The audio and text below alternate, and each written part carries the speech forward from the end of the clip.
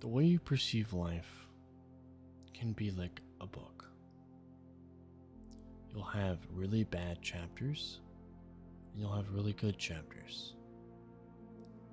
Now, even though chapters can be really bad, boring, upsetting, disheartening, when a book hits its peak, it gets exciting.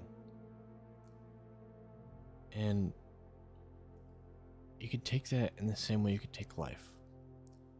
You're going to have really good chapters and really, really bad chapters. But there's always going to be something better. Or sometimes you'll run into something worse. But the majority of books have happy endings. And if you think it's not going to have a happy ending, make it have a happy ending. You're the one writing your own book. Your life is your book. Don't let people judge you by the cover, but by the quality and the personality of your book. Show people the story that you hold within you and the the details and quality of the paper of the, the print and the font because there's a lot to your book. And don't let anybody else ruin it because you're the one writing it.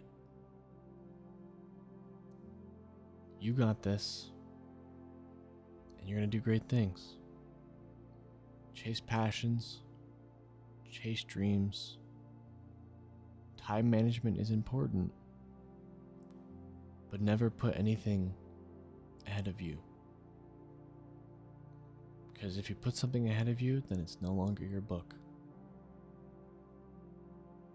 With that being said, I hope you have a great rest of your day, night, or evening. I appreciate you listening.